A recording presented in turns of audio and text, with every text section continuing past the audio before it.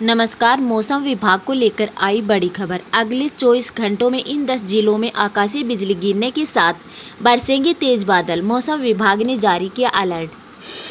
दोस्तों, देश की राजधानी नई दिल्ली और उसके आस पड़ोस के क्षेत्रों में कल शाम को मौसम ने आसमात करवट ले ली है। गुरुवार के दिन तेज धूप निकली रही, लेकिन सायकाल होते होते दिल्ली में तेज हवाओं के साथ मामूली बौछारें मिली। अब मौसम विभाग के पूर्वानुमान की माने तो कुछ ही दिनों में देश के अधिकांश राज्यों में वर्षा की एक्टिविटीज़ या हलचल देखने को मिलेगी। इसी दौरान टेम्परेचर में भी भारी रिकॉर्ड किया गया है। दरअसल, मौसम विभाग ने जारी किया अनुमान कि यहाँ 28 अप्रैल को न्यूनतम टेम्परेचर 19 डिग्री और अधिकतम टेम्परेचर 38 डिग्री रिकॉर्ड किया जा सकता है।